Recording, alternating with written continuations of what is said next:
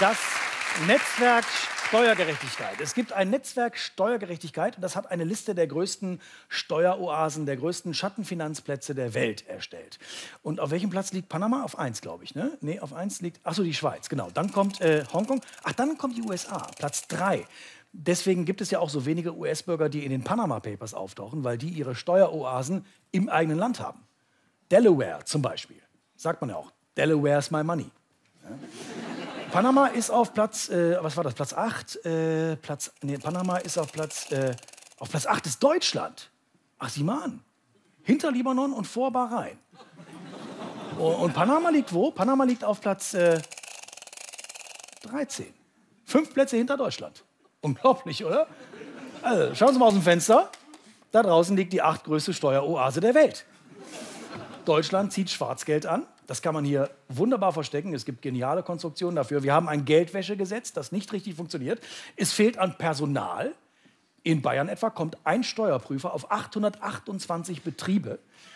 Und diese, ja, diese Unterbesetzung in Finanzämtern und Prüfbetrieben ist gewollt. Das verkauft Bayern unter der Hand als Standortvorteil. Ja, also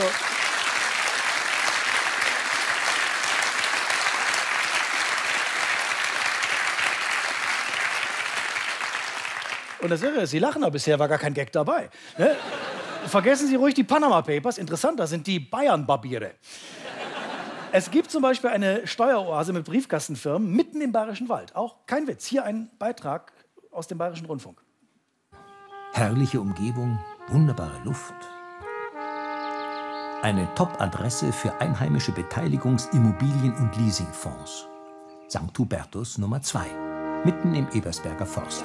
Diese Firmen sind ja angemeldet und äh, die werden von den Finanzämtern, äh, werden diese Firmen äh, verwaltet und besteuert. Aber deutlich weniger als anderswo. Denn weil hier im Wald nichts gebaut werden darf, musste der Landkreis auch nichts in die Erschließung investieren und konnte so den geringsten noch erlaubten Steuerhebesatz anwenden. Das heißt, wo Firmen in München 17 Prozent ihres Gewinnes versteuern müssen, sind es hier nur sieben. Das ist ja unfassbar, oder? Unfassbar. Also es ist total einfach. Es ist überhaupt kein Problem. Also falls, falls Sie auch Interesse haben, meine Damen und Herren, falls wir Interesse geweckt haben sollten, es ist wirklich, es ist total easy. Sag mal, kann ich auch in Deutschland eine Briefkastenfirma aufmachen? Mhm. Und ich muss dafür nicht nach Panama? Mhm. Das ist gesetzlich völlig in Ordnung? Mhm. Danke.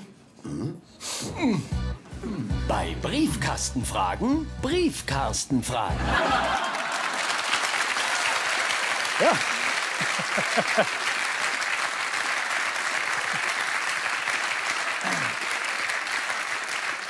Interessanterweise.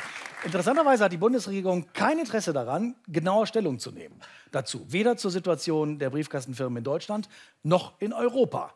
Da kann der Reporter Thilo Jung noch so hartnäckig nachfragen. Der Pressesprecher des Bundesfinanzministeriums hat einfach keine Lust, dazu was zu sagen. Ich meine, keine Lust, so würde er es nicht formulieren.